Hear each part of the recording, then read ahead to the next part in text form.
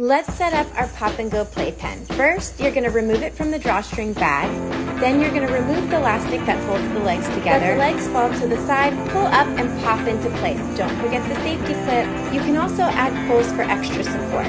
Now add our mattress for extra comfort and your little ones are ready to go. Now you're ready to get back into teacher mode and focus on some homeschooling. Woo! Way to go! And don't worry, baby is safe and.